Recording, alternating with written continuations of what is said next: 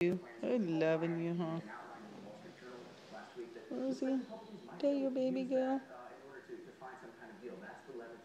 Everybody needs to be able to point to a win for this to work. Chris Moody, thank you. Gotta say that. Yeah, for sure. Uh, a hunter survived more than two weeks lost in a forest. Two weeks. And wait till you hear what he did to keep himself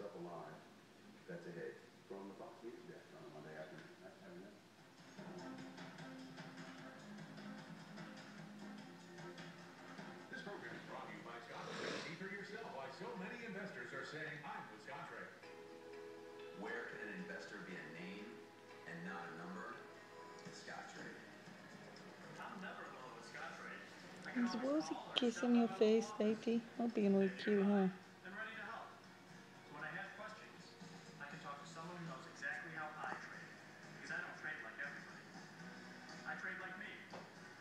with Scottrade. Ranked highest in investor satisfaction with self-directed services by JD You're Power licking your Associates. face, Stacey. Really cute. Sure.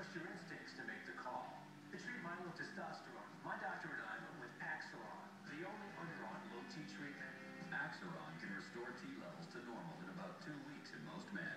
Axiron is not for use in women or anyone younger than 18 or men with prostate or breast cancer. Women, especially those who are or may become pregnant, and children should avoid contact.